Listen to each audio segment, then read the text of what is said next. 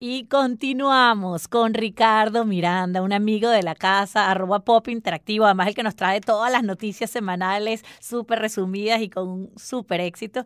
Y Ricardo está aquí hoy para hablarnos de lo que él domina, de lo que él es especialista, porque además ha trabajado con George Harris, Erika de la Vega, Camila Canaval, Viviana Givelli, Valentina Quintero, José Rafael Guzmán, y bueno, y muchísimos otros. ¿Haciendo qué? Bueno, optimizando YouTube y llevando esos canales de YouTube a unos lugares muy especiales en los rankings. Hace unas optimizaciones espectaculares y bueno, tiene su empresa, su empresa que se llama Miravisión y él ayuda a las personas a que puedan lograrlo. Hola Ricardo, ¿cómo estás?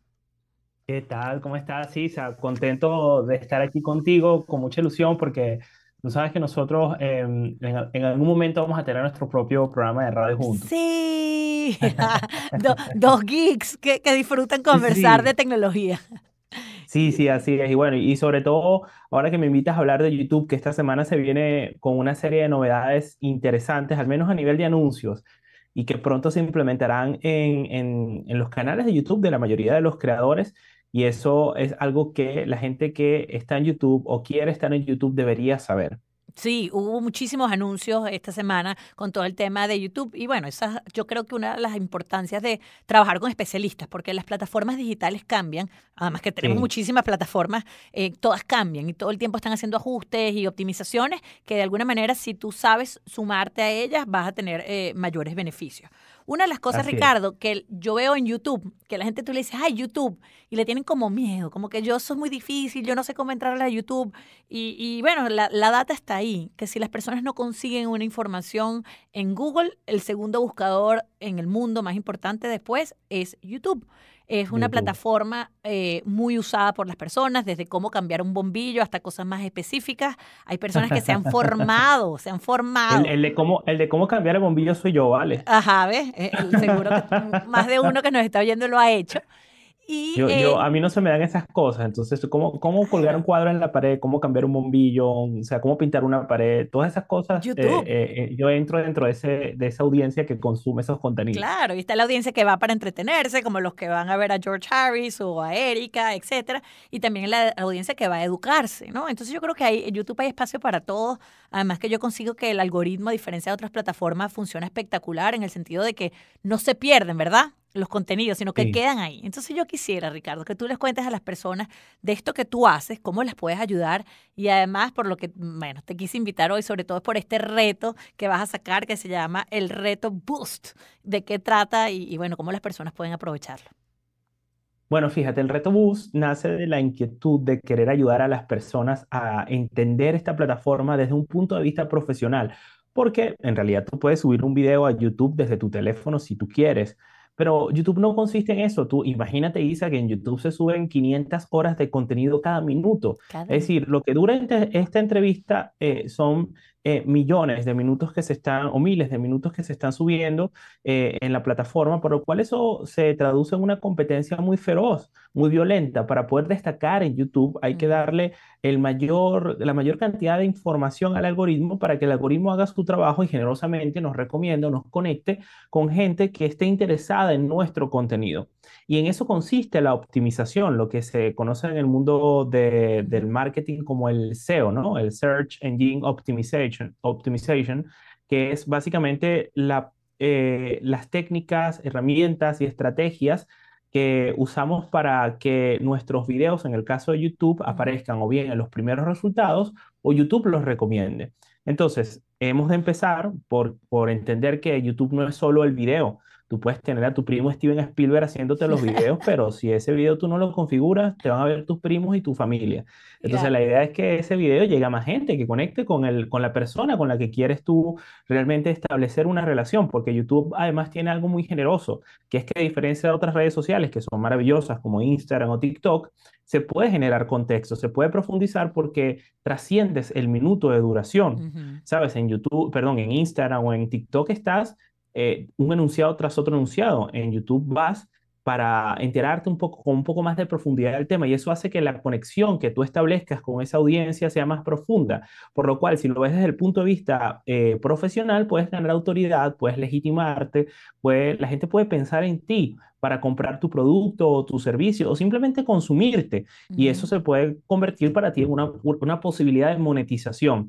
Entonces, YouTube son al menos ocho partes por video. Estamos hablando de la miniatura, que es la portada de, tu película, ¿no? De tu capítulo, que es la parte más trascendental de todas las, bueno, la palabra no es trascendental, es la parte más importante desde el punto de vista de SEO, porque la miniatura o la carátula o el thumbnail, como le llaman, es, es, esa, es lo primero que ve el usuario. Cuando tú haces una búsqueda, por ejemplo, el ejemplo que ponías, ¿no? ¿Cómo, cómo poner un bombillo? Cuando tú haces esa búsqueda, lo primero que tú vas a ver son las miniaturas de esos videos y tú vas a darle clic al que, a la que más te llame la atención. Tan, es importante, Isa, eh, Isa el, la miniatura hoy en día, que YouTube te da la oportunidad de hasta poner tres miniaturas para que compitan entre sí y YouTube elija cuál es la favorita de la audiencia y con esa se queda. Y luego, bueno, hay otras partes como el título, la descripción del video, que es el pasillo que conecta YouTube con el resto de los buscadores, porque también tus videos pueden aparecer en los resultados de Google o de otros buscadores, eh, las etiquetas, las tarjetas, las pantallas finales, y todas esas cosas hay que aprender a hacerlas correctamente si realmente queremos eh, resaltar dentro de esta plataforma, que no sé si sabes, se ha convertido en la plataforma favorita de, los, de la generación Z y la más consumida en plataformas de streaming en Estados Unidos por encima, pero muy por encima de Netflix y de la televisión. Y bueno, ni contarte el resto de plataformas que quedan detrás de la ambulancia en comparación con YouTube. Por lo cual, si tú eres profesional y estás pensando en estar allí, esta es una verdadera oportunidad para aprender cómo hacerlo. Eh, en eso consiste el reto bus que va a arrancar el 14 de este octubre. octubre, finaliza el 18 y la idea es que tú entres y transformes durante esa semana tu canal y para estimular a la gente, Isa, hemos decidido crear unos premios, ¿vale? Unos, sí, unas recompensas. Entonces, los canales de YouTube que realmente apliquen lo que nosotros estamos enseñando y se vea una verdadera transformación, al final de semana recibirán la posibilidad de concursar por, eh, por el mero hecho de participar en el reto, por un mes del método Boost, que es nuestro servicio estrella, que es el que ha ayudado a crecer a canales como George Harris, Ana María Simón, Erika de la Vega, en fin, Valentina Quintero. También van a tener la posibilidad de ganar eh, plazas para el bootcamp de marketing digital que nosotros tenemos, que es el GoCamp, y eh, sesiones uno a uno conmigo. Es decir, que realmente, ya te digo, es una oportunidad maravillosa para que aprendas de, de verdad cómo estar en YouTube de la manera más profesional posible. Claro, porque imagínate el tiempo que tú dedicas a generar el contenido, a arreglarte, a la producción y que ese contenido después muera. Eso después te desestimula. Da mucha rabia. Sí, entonces yo creo que hacer eso es parte de poder hacer las cosas bien. Hay cosas, por ejemplo, que yo no sabía y cuando me enteré, yo dije, wow, eso sucede. Y cuando se lo cuento a la gente, me dicen, de verdad, sí, o sea, tengo entendido y tú me dirás como experto que eres, que YouTube identifica los primeros segundos, lo que tú estás diciendo en voz y eso lo pone como parte del código. Entonces, que es parte importante lo que tú dices en, voz en los primeros segundos para poder entonces destacar más. Entonces, son esos detallitos que tú dices, ¿qué me tomaría a mí de tiempo? poder escribir una línea al comienzo y saber que eso me va a ayudar a rankear mejor, ¿no? Sí, porque además no es solo la configuración, es que tienes que considerar antes de grabar un video que YouTube es la única plataforma con la cual tú puedes predecir de alguna manera si tu contenido pudiera funcionar o no, porque hay herramientas que, tú, que son de terceros, que tú instalas en tu, en tu explorador. Entonces tú le dices a YouTube, por ejemplo, tú imagínate que tú eres una realtor, una agente inmobiliaria. Entonces tú quieres destacar en lechería allá en, en Venezuela. Entonces tú dices, ¿cómo comprar una casa en lechería? Y a lo mejor ese contenido no es lo, no es lo que la gente está buscando, sino que la gente está buscando cómo comprar una casa en la urbanización Las Villas de Lechería.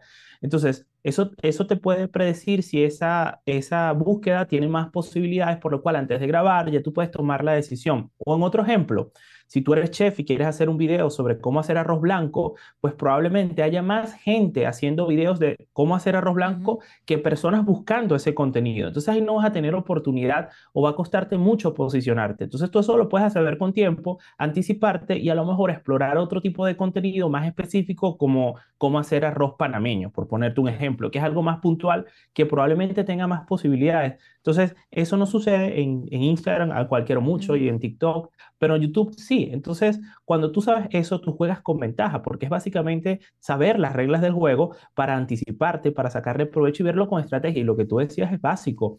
Tú sabes más que nunca que el, el, arco narrativo, que es el orden en el que tú cuentas hoy en día las cosas, eso se ha alterado muchísimo. Nosotros crecimos contando las historias con un intro, un desarrollo, un clímax y un cierre en ese orden. Pero hoy en día la gente está tan desesperada por saberlo todo y además ensimismada en el scrolling que durante los primeros tres segundos ya tú le tienes que contar el spoiler de la película porque es que quieren ya el clímax del, del, del, contenido. Sí, sí, sí. Bueno, todo una ciencia y qué bueno tener especialistas, sí. Ricardo, que ayuden, porque además hay que recordar a todo el mundo que YouTube te genera ingresos. Todos los nuevos chamos uh -huh. que dicen que quieres ser cuando seas grande, yo quiero ser youtuber, porque es una vida de alguna manera que te permite eh, tener ingresos mientras haces lo que te gusta. Sin También. embargo, hay que tener en cuenta que no todo el mundo lo puede hacer, que hay que hacerlo muy bien para poder destacar, porque es un mercado competido. Así que bueno, Reto Boost. Reto Boost 14 de octubre. Eh, bueno, tiene además una cantidad de premios espectaculares. Lo pueden ver todos los detalles en arroba pop interactivo. ¿En algún lugar donde está la información, Ricardo, donde pueden entrar también? Sí, pueden entrar tanto en mis redes sociales, que Ajá. es Pop Interactivo, así mismo suena un poco extraño, pero, pero ese fue el nombre de mi primer programa de radio. Se llama Pop Interactivo. Y luego eh, pueden eh, también meterse en la página web Reto Boost. Boost se escribe, es una palabra anglo, se escribe B alta o O S T de impulsar, retoboost.com. Y ahí van a poder apuntarse directamente, cuesta tan solo 50 dólares. Y digo tan solo porque realmente esta formación nosotros la vendemos en casi mil dólares. Por lo cual, como no la aproveches ahora, pues va a ser complicado que en el futuro consigas una formación de esa calidad en directo, en donde además vamos a tener a Erika de la Vega como invitada, uh. a gente de YouTube. Es decir, va a estar súper top esa, esa, y va a ser en directo, va a ser interactivo, va a ser una experiencia inolvidable. Bueno, lo voy a poner también en mis redes. Esto, para que ¿Ah? la, lo voy a poner también en mis redes para que más personas se sumen. Maravilloso. Muchas gracias, Isa. Bueno, un abrazo en banda ancha y todo el éxito con el reto Boost. Bye bye. Hablamos con Ricardo Miranda, arroba pop interactivo, sobre todas las innovaciones de YouTube y sobre este reto que los va a ayudar a crecer. Bye bye.